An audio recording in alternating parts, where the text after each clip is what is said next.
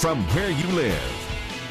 Good morning. Well, a lot of the heavier rain showers have cleared out for now. We're seeing a bit of a break, although you'll certainly notice some rain showers here on uh, Precision. These are more just light, misty type showers, not really giving us too much more accumulating rainfall. Already, most places have seen about a quarter of an inch down around Crawfordsville up through Rossville, though. Right now, about a tenth to a five hundredths of an inch of rain, so not too much rain there. And as I mentioned, this isn't adding anything. This is more of a mist that's outside more than anything. More rain certainly on the way, though. Take take a look at the rain that we have seen that's moved across our area. That all came in during the evening hours and continued then, of course, during the overnight. Those rain showers look like they're going to continue to build in through the day, but we're left with those clouds for right now. In fact, if we take a look at how those build in, you're going to notice that through the day today. Now, as far as the temperatures go right now, we're seeing them everywhere from the low 40s all the way up to the mid 40s right now. So fortunately, the temperatures are warm enough right now that even though it's kind of a dreary start, it's not a cold cold and dreary start. Those 40s, certainly jacket weather, but definitely not as cold as what we know it could be or what we're going to be seeing tomorrow morning. Now, here's some of those rain showers that are still going to be building in, and it's going to be coming in waves through the day today. We kind of already saw one wave, now left with a few spotty showers, another wave certainly still on the way.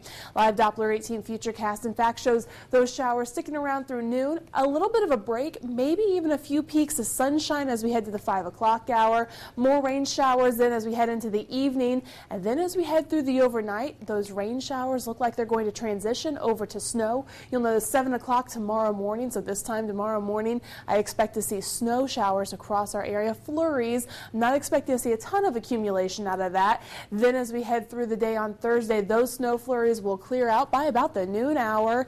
Then we're even expecting to see the clouds clear out by the evening Thursday as we head into the day Friday. Rainfall totals. So far, a lot of places, as I've mentioned, have already seen around a quarter of an inch. Here in Lafayette, it's been a bit higher than that. Rainfall forecasted totals show us just over an inch, so I think we could still expect to see about another inch of rain today. These are your totals as a whole. As far as snowfall totals go, most places will see about an inch of snow. Places toward the north could see up to two inches. Most of this will be on the grass, but certainly some of those roadways you'll want to keep your eye on, especially the bridges and overpasses. Now for today, waves of rain and thunderstorms possible. Also a possible peek of sunshine later on this afternoon. 59 for your high.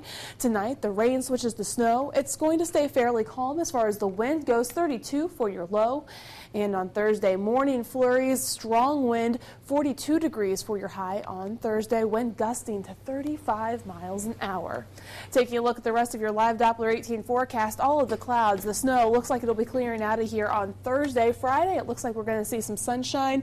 As we head into Saturday, though, another chance of some rain or a wintry mix. That's really going to be a pretty slim chance. Same with Monday, keeping it at about a 30 40% chance. Certainly not going to be a washout for the day. Saturday, Monday precipitation, Sunday, Tuesday